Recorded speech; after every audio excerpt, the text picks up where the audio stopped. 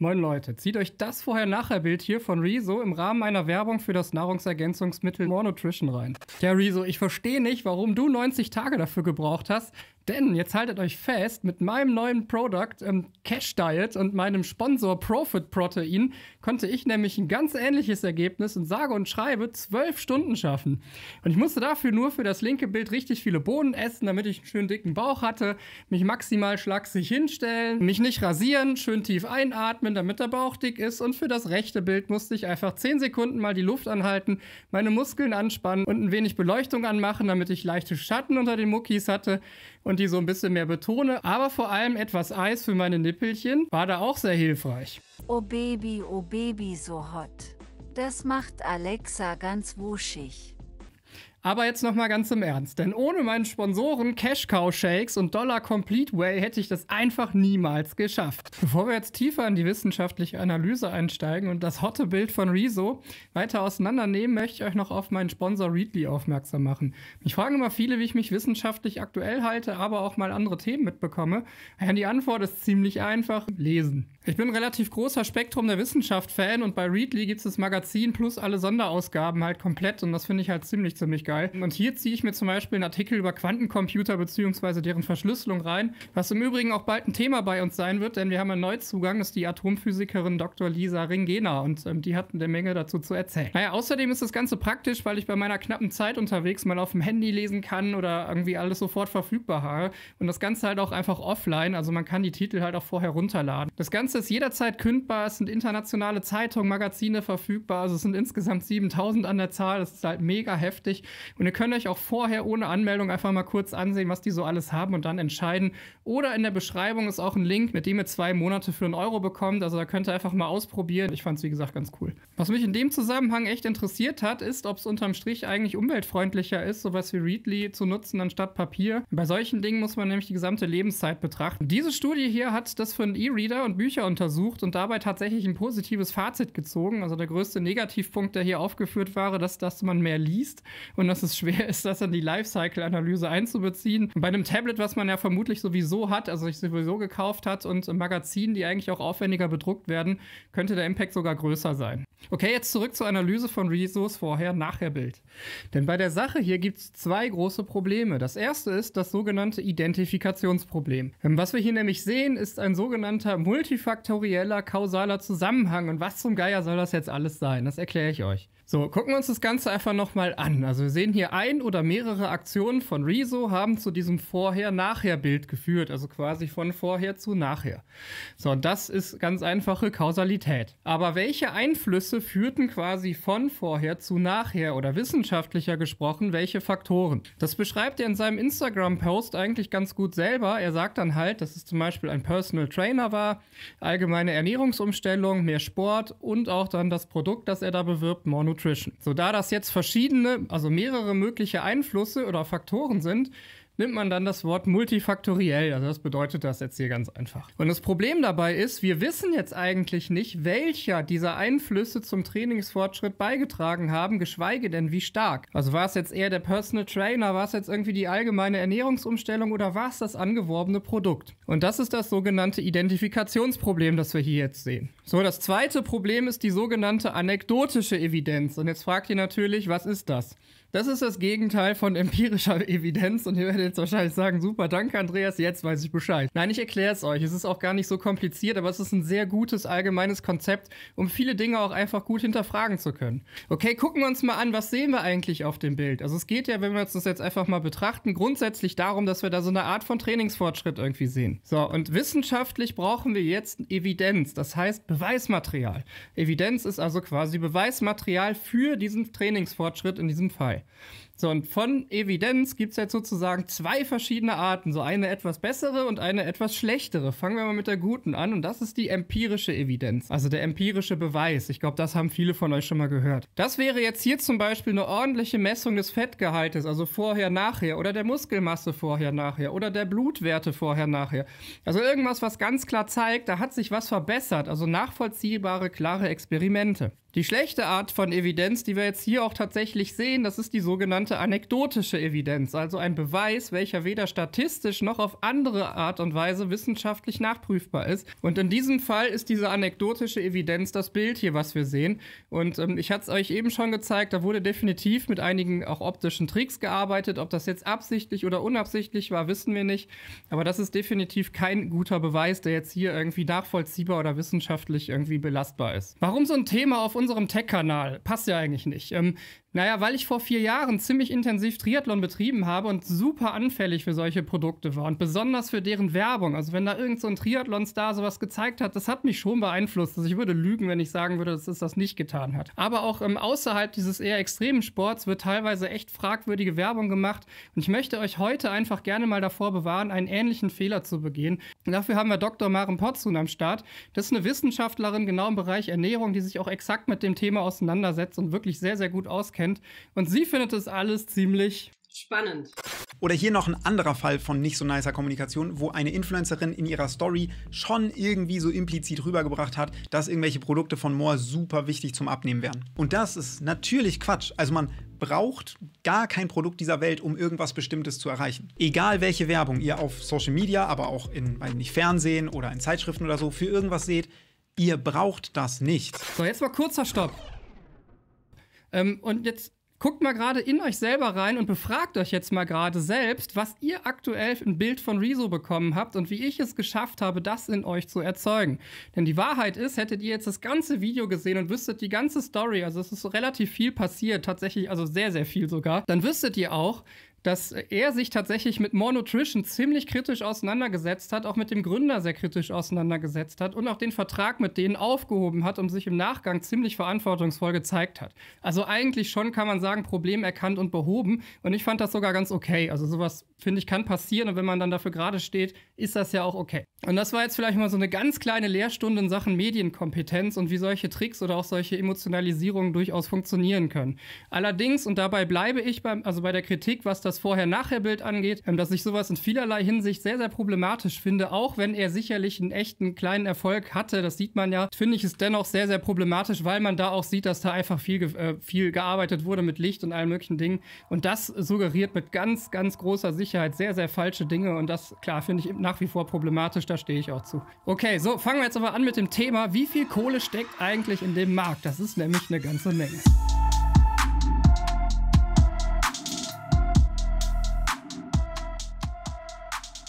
Okay, wie groß ist der Markt und, und damit auch die Kohle, die hier umgesetzt wird? Also checken wir erstmal, was eigentlich alles so zu Nahrungsergänzungsmitteln dazu zählt. Und ihr seht, dass jetzt hier zum Beispiel auch Vitamine, Mineralien und so weiter dazu zählen und über 60 Prozent der Bevölkerung sowas zu sich nimmt. Ja, Proteine wie unser Dollar Cash Complete Whey, ähm, immerhin 26 Prozent, also immerhin jeder Vierte nimmt irgendwie so ein Whey.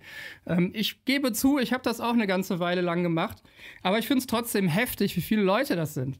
So, was heißt das jetzt? Jetzt in Geld. Nehmen wir mal dieses Beispiel für den Apothekenumsatz für Nahrungsergänzungsmittel in Deutschland im Zeitraum von 2014 bis 2018.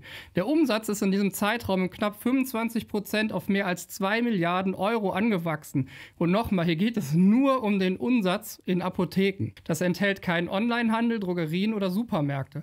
Spannend bei der Abbildung ist aber, dass man sieht, dass die bereits diskutierten regulierten Mittel, also zum Beispiel ähm, Vitamine, Mineralstoffe und so, dabei nur 50 Prozent Prozent des Umsatzes ausmachen. Schaut mal jetzt mal auf den europäischen Markt, so sind wir bei knapp ähm, 22 Milliarden. Wobei hier von äh, Mordor Intelligence, äh, das war kurz ein Bild von Sauron, also die, die, die heißen wirklich so, ähm, bis 2029 ein Wachstum des Marktes von ca. 50 Prozent prognostiziert wird.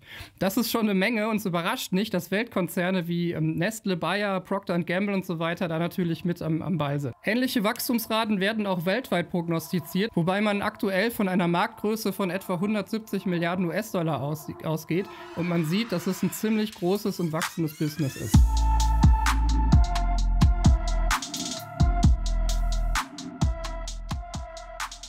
Jo, jetzt spreche ich die ganze Zeit von irgendwelchen Pillen, Pulvern, Vitaminen, Proteinen und so weiter. Und jetzt natürlich die super wichtige Frage: Sind Nahrungsergänzungsmittel eigentlich medizinische Produkte, also Arzneimittel? Und müssen die, und das ist das Allerwichtigste, damit auch irgendwie zugelassen werden und noch, noch viel wichtiger, einer Sicherheitsüberprüfung unterzogen werden? Und die einfache Antwort ist nein. Ja, Nahrungsergänzungsmittel fallen in den Bereich der Lebensmittel und eine europäische Richtlinie von 2002, die 2004 in, in Deutschland in Form der Verordnung Verordnung über Nahrungsergänzungsmittel, kurz NEM, umgesetzt wurde.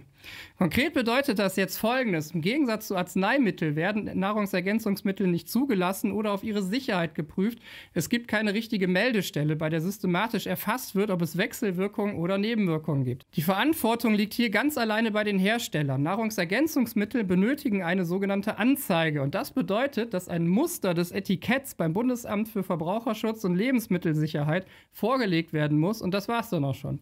Und wie großartig das als Regulierung funktioniert, sieht man an einem Test, äh, den Report Mainz hier im Jahr 2019 gemacht hat. Sie haben nämlich ein Nahrungsergänzungsmittel angemeldet, auf dessen Etikett das Datura-Extrakt als Komponente genannt wurde. Und das ist das Extrakt des Stechapfels, also einer der giftigsten Pflanzen in äh, Mitteleuropa, so, mit dem man potenziell auch einen Menschen einfach mal umbringen kann. Aber bei der Behörde gar kein Thema, ey, mit dem Gift geil. Ne? Und auch zwei Monate nach der Anzeige hat sich sich niemand daran gestört. Also man hätte das Produkt jetzt ganz offiziell auf den Markt bringen können. Und das haben die natürlich nicht gemacht. Das wäre wahrscheinlich auch irgendwie echt schief gegangen. Aber man kann sich jetzt trotzdem die Frage stellen, wie konnte das überhaupt passieren? Und das Problem ist relativ simpel. Für die Überwachung sind rund 400 Landkreise und kreisfreie Städte zuständig. Und die haben schlicht und einfach keine Kapazitäten, die über stichprobenartige Kontrollen hinausgehen. Da fühlt man sich tatsächlich wirklich sicher. So, insbesondere, wenn man sich mal vor Augen hält, dass zum Beispiel 2018 allein 8000 neue Nahrungsergänzungsmittelprodukte registriert wurden. Das ist eigentlich echt irre, wenn man sich das überlegt. So, und jetzt ist schon verständlich, dass Verbraucherzentralen strengere Regeln fordern. Also auch zum Beispiel Politiker wie Renate Künast äh, fordert hier ähnlich strenge Zulassungsverfahren wie bei den Arzneimitteln. Und selbst die Große Koalition hat 2021 von der Europäischen Union eine Neuregelung mit strengeren Regeln gefordert gefordert. Vom Bundesinstitut für Risikobewertung gab es bereits 2004 und auch nochmal in aktualisierter Fassung 2021 Vorschläge für Höchstmengen für Vitamine und Mineralstoffen in Nahrungsergänzungsmitteln und angereicherten Lebensmitteln. Tja, und wie, wie sieht die Realität aus? Eine Studie aus dem Jahr 2020 hat im Rahmen einer Untersuchung festgestellt, dass mehr als die Hälfte der untersuchten Nahrungsergänzungsmittel aus dem stationären Einzelhandel die Höchstmengenvorschläge ähm, für Vitamine und Mineralstoffe überstreiten. Richtig geil. Was das bedeutet, erkläre ich euch gleich noch. So, und ich weiß nicht, ob es euch aufgefallen ist, aber ich spreche jetzt die ganze Zeit über Vitamine und Mineralstoffe. Und was ist jetzt zum Beispiel mit Proteinen und den anderen Nahrungsergänzungsmitteln? Und es gibt genauso wenig Regulierung dafür wie für die anderen Sachen auch. Also da gibt es tatsächlich jetzt keinen Unterschied.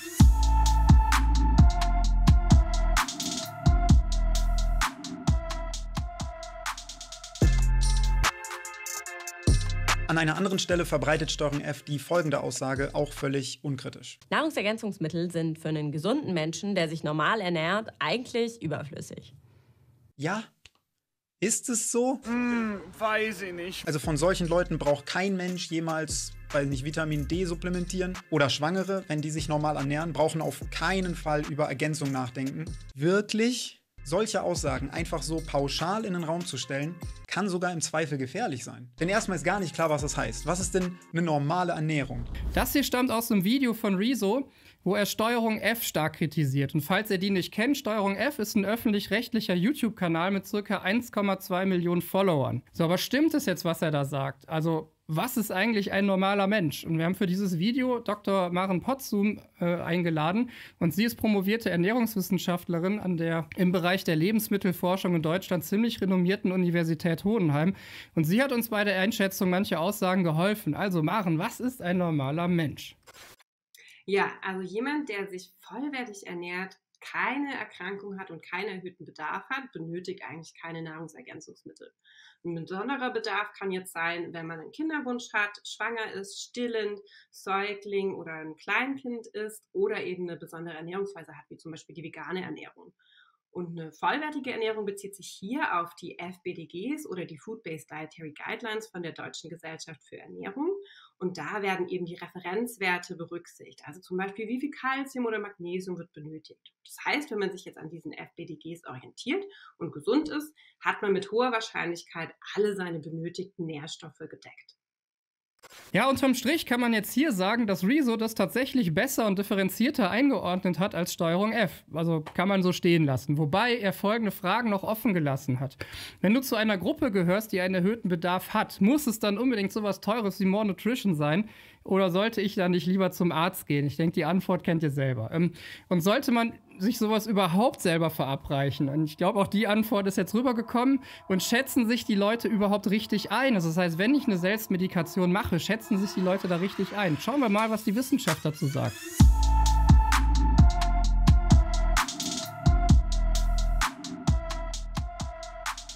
Ja, laut einer Studie des Bundesamtes für Risikobewertung, also kurz BFR, wurden bei 16 Prozent der dort befragten Menschen ein Vitaminmangel festgestellt, also wirklich dann nachgewiesen. Und 18 Prozent der Leute vermuteten einen Vitaminmangel bei sich. So, das passt tatsächlich erstaunlich gut überein. Aber es sind auch noch mehr Leute, als ich gedacht hätte, also so, die einen Mangel wirklich haben. Aber noch spannender ist folgender Punkt. Und 56 Prozent nehmen aber solche Tabletten. Das ist eigentlich erstaunlich. Also wenn, wenn das nur 18 Prozent bei sich vermuten und 56 es nehmen, dann kann man eigentlich die Frage stellen, warum? Also ist es jetzt einfach gutes Marketing oder ähm, ganz ehrlich, wir wissen es nicht. Und wenn ihr hier eine gute Hypothese habt oder vielleicht auch eigene Erfahrungen, dann haut raus, schreibt einen Kommentar. Ich finde es echt spannend. Äh, man sollte aber auch noch dazu sagen, die genannten Zahlen vom BFR sind natürlich auch mit ein bisschen Vorsicht zu genießen, weil es sehr darauf ankommt, wie die jeweils ermittelt werden. Also zum Beispiel das Robert Koch Institut kommt beispielsweise bei Vitamin D je nach Jahreszeit auf eine Mangelversorgung bei von fast 50 Prozent der Menschen. Gerade für saisonale Effekte könnt ihr auch nochmal ähm, beim Bundeszentrum für Ernährung nachlesen. Spannend ist aber auch, wie äh, Wissenschaftler Empfehlungen für solche Nährstoffe erarbeiten. Also aktuell läuft zum Beispiel die sogenannte Meal-Studie des BFR. Meal steht für Mahlzeiten für die Expositionsschätzung und Analytik von Lebensmitteln. Super geil. Geil. Ja, wenn das nicht mal aus dem Titel-Generator gekommen ist. Okay, ähm, das startet vom Einkaufszettel, für den ermittelt wurde, welche Lebensmittel in Deutschland am häufigsten von Verbrauchern verzehrt werden. Dann geht es über mehrere Schritte weiter und am Ende der Kette wertet das BFR-Meal dann aus, welche Stoffe die Bevölkerung täglich in welcher Konzentration wirklich aufgenommen hat. Also die versuchen das wirklich so gut wie möglich abzubilden, was real passiert. Und aus diesen Ergebnissen werden dann die Verzehrempfehlungen abgeleitet. Finde ich eigentlich nicht schlecht. Also ist gut gemacht, denke ich, so wie ich es jetzt zumindest gelesen habe.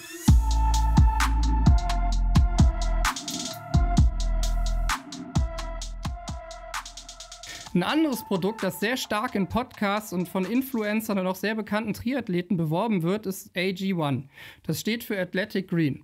So, und ach ja, falls ihr für den Fall, dass ihr mir nicht glaubt, dass man vor der Einnahme von Nahrungsergänzungsmitteln einen Arzt konsultieren sollte, hier mal ein kleiner Hinweis von ihrer eigenen Webseite. So, aber was ist jetzt in dem Zeug drin, also in AG1 quasi? Das ist ja nicht ganz billig. Da kann man sich ja schon die Frage stellen, was trinkt man da oder frisst man da oder was weiß ich, wie spritzt man sich, keine Ahnung. Ey. Ist ja auch egal. Grob kann man es in folgende Dinge aufteilen. Da sind drin Multivitamine, Multimineralstoffe, Bakterienkulturen, Ballaststoffe, Antioxidantien, hochwertige Pilze und natürliche Pflanzenstoffe. Also das ist eine ganze Menge an Zeug. Und wir haben jetzt hier wieder die Wissenschaftlerin befragt und Sie bezeichnete die Liste als spannend. Ja, was heißt das jetzt? Einige der Zutaten sind nicht Teil einer normalen Ernährung. Also wissenschaftlich ausgedrückt fehlt hier einfach die Hypothese, was diese Stoffe eigentlich bewirken sollen.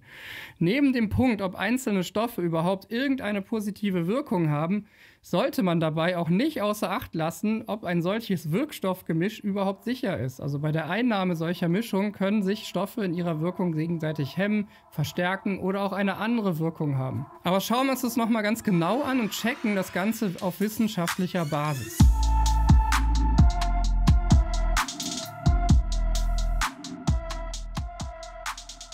So, und die Frage, die man sich jetzt hier stellen muss, wie sieht es denn jetzt mit wissenschaftlicher Evidenz bezüglich der Wirkung aus? Und AG1 bezieht sich auf ihrer Webseite auf eine von einem unabhängigen Institut durchgeführte einarmige Studie mit einer Teilnehmeranzahl von sage und schreibe 35 Leuten. Und dabei haben 97 Prozent der Teilnehmenden weniger Heißhunger und mehr anhaltende Energie verspürt. Okay, mehr anhaltende Energie und weniger Heißhunger sei mal dahingestellt, da kann ich mir noch was drunter vorstellen, aber was zum Geier ist eine einarmige Studie? Und ähm, was ist davon zu halten? Das Deutsche Register für klinische Studien erklärt dazu in seinem Glossar, und das bedeutet ganz einfach, es gibt keine Vergleichsgruppe, die eine andere Behandlung oder ein Placebo bekommt. Also normalerweise bekommt eine, eine, Gruppe dann zum Beispiel das Nahrungsergänzungsmittel und die andere Gruppe dann ein Placebo und dann kann man das relativ gut vergleichen. So, was kann man jetzt eigentlich wissenschaftlich oder statistisch von so einer Studie halten? Also allgemein auch so, damit ihr das vielleicht versteht, was das bedeutet. Sonst gibt es fünf Punkte, die hierfür echt wichtig sind und ich erkläre euch die jetzt mal an einem konkreten Beispiel. Wir nehmen jetzt mal eine fiktive Studie, die irgendein neues Diätmittel namens Bauch weg, ob die Elite Beschiss Drops Flavor anbietet. Und ähm, ich gehe jetzt mal mit euch die Punkte durch, die wichtig sind, um so eine Studie, die Qualität der Studie zu bewerten. Das erste ist die Variabilität. Wenn wir jetzt einfach mal 35 Personen haben, die das Zeug ausprobiert haben, könnten einige stark abnehmen und andere nur ein wenig und vielleicht andere auch gar nicht. Und diese Unterschiede, also innerhalb dieser Gruppe, das ist die Variabilität. Und jetzt stellt euch mal vor, äh, einige der Teilnehmer haben während der Studienzeit kurz vorher angefangen, Sport zu treiben, also einfach rein zufällig oder besser zu essen oder so. Das kann ja auch völlig unbewusst passieren, ohne dass das in die Studie jemals einfließt. So, und diese Teilnehmer würden dann viel stärker abnehmen als die anderen. Und das macht es natürlich schwerer, das eigentliche Ergebnis des Diätmittels zu bewerten. Also einfach einfach weil die Streuung innerhalb der Gruppe so groß ist. Ne? Also hier geht es wirklich um die Schwankungen der einzelnen Messungen, der einzelnen Gruppen. Das zweite ist die statistische Power oder auch Trendschärfe genannt. Statistische Power ist in dem Zusammenhang die Wahrscheinlichkeit, dass eine Studie den untersuchten Effekt überhaupt erkennt, falls dieser existiert. Also nehmen wir mal an, das Zeug hilft jetzt wirklich, also die Leute nehmen ab, aber nur so ein ganz kleines bisschen dann würde dieser Effekt bei 35 Teilnehmern vielleicht gar nicht auffallen, weil die Stichprobe zu klein ist, um den kleinen Effekt zu erkennen. Das dritte ist die Verallgemeinerbarkeit und das ist ein ganz, ganz wichtiger Punkt, der auch gar nicht so leicht festzustellen ist. Wenn jetzt die 35 Teilnehmer alle junge Erwachsene sind, könnten die Ergebnisse für andere Bevölkerungsgruppen, wie zum Beispiel ältere Menschen oder Kinder, anders ausfallen. Die Ergebnisse dieser Studie wären somit nicht ohne weiteres auf die gesamte Bevölkerung übertragbar. Und davon gibt es natürlich zigtausend Beispiele. Also das ist ein ganz schwieriger Punkt. Der vierte Punkt ist, wenn man keine Vergleichsgruppe hat. Ja, und wir gehen jetzt mal davon aus, dass das hier der Fall war. Wenn eine Studie zum Beispiel kurz nach Weihnachten durchgeführt wird und alle Teilnehmer vorher ordentlich gegessen haben, könnten sie danach ja abnehmen. Also einfach, weil die Feiertage vorbei sind und sie wieder zu, normal, zu ihren normalen Essgewohnheiten zurückfinden. So, und ohne eine Kontrollgruppe, die kein Diätmittel erhält, könnte man jetzt, jetzt nicht feststellen, ob das Mittel überhaupt einen zusätzlichen Effekt hat. Also ich wüsste es dann ja nicht. Die würden abnehmen, hätte ich jetzt aber die Kontrollgruppe, würden die auch abnehmen und vermutlich genauso viel. Und das heißt, ich würde dann erkennen, okay, das ist nicht, hat mit dem Mittel nichts zu tun. Das ist auch ein ganz, ganz wichtiger Punkt. Das fünfte ist die sogenannte Verblindung. Also wenn Teilnehmer und oder die Forscher zum Beispiel wissen, wer das Diätmittel erhält und wer nicht, das ähm, kann die Ergebnisse kl ganz klar beeinflussen. Ne? Also Teilnehmer, die wissen, dass sie so ein Diätmittel erhalten, können sich anders verhalten oder ganz andere Erwartungen haben, was zu einem Placebo-Effekt führen könnte.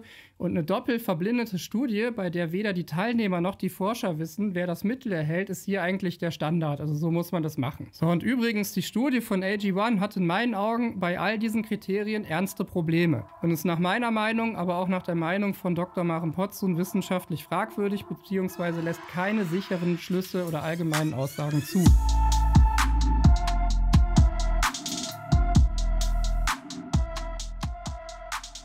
Ja, wie sieht es mit Nebenwirkungen, Wechselwirkungen und so aus? Ziehen wir uns mal das Beispiel Kurkuma rein, beziehungsweise den darin enthaltenen Stoff Kurkumin. Diese Wurzel ist eigentlich ein Gewürz. Also es kennen relativ viele halt irgendwie. Ich benutze es auch gerne als Gewürz. Ähm, hier und da macht das total Sinn. Äh, manchmal auch als Färbungsmittel so ein bisschen.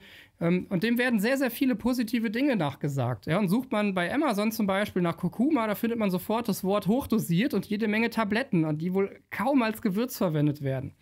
So, und erinnert euch an die fehlende Regulierung. Also das wird anscheinend nicht wirklich überprüft. Und daher die Frage, wie safe ist das jetzt? Oder gibt es da irgendwie Probleme? Und ja, tatsächlich. Denn bei der Einnahme dieser Tabletten kann man mal locker zwei bis drei Gramm dieses Stoffes aufnehmen. Und auch, auch wenn, wie gesagt, keine behördlichen Regelungen dafür existieren, hat das Bundesinstitut für Risikobewertung für noch viel mehr Stoffe, wie eben auch Kurkumin, Empfehlungen für die akzeptable tägliche Aufnahmemenge gegeben. Und die liegt bei drei Milligramm pro Kilogramm Körpergewicht. Also wenn wir mal rechnen, du wiegst jetzt 100 Kilo, dann ist die oben genannte Menge von 3 Gramm pro Dosis locker das Zehnfache dessen, was man eigentlich zu sich nehmen sollte. Und mit den Folgen einer dauerhaften Überdosierung ist wirklich nicht zu spaßen, denn es gibt inzwischen Fallstudien, die bei Einnahme über einen längeren Zeitraum von Leberschäden berichten. Okay, aber warum gibt es jetzt diese ganzen positiven Berichte? Denn das sind ja auch wissenschaftliche Studien.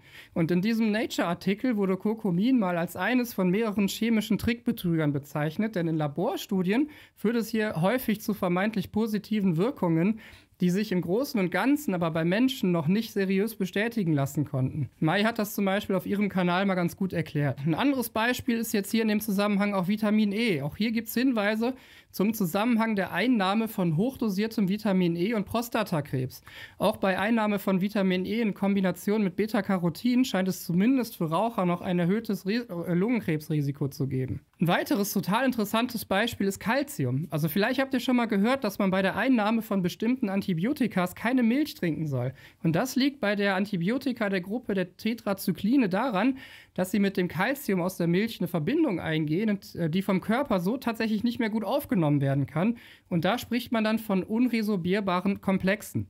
Und nimmt man nun Calcium als Nahrungsergänzungsmittel zu sich, also in Reinform, dann hat das die gleichen negativen Effekte wie jetzt die Milch. Das sind ein paar Beispiele für Neben- und Wechselwirkungen, die zum Teil auch nur auf Einzelfallstudien beruhen und oft eigentlich auch noch gar nicht richtig verstanden sind. Also das Thema ist wirklich super komplex und ich meine, ihr könnt euch vorstellen, bei der Vielzahl an Stoffen und allen möglichen Dingen ist es auch einfach gar nicht machbar. Wichtig ist dabei einfach nur, man sollte nicht bedenkenlos, nur weil man ähm, ein Nahrungsergänzungsmittel im Supermarkt zum Beispiel kaufen kann, denken, dass das nicht gefährlich sein kann. Also man sollte hier schon ein bisschen aufpassen, auch auf sich selber einfach und nicht ganz bedenkenlos da allem trauen und hoffen, dass irgendwer das überprüft hat oder auch nicht. Denn am Ende seid ihr für euch selber verantwortlich. Und ich glaube, dessen sollte man sich hier nochmal bewusst werden. Okay, das war's, Leute. Ich hoffe, ich konnte euch ein bisschen Licht ins Dunkel der Nahrungsergänzungsmittel, der Statistik, aber auch so von wissenschaftlicher Herangehensweise bringen.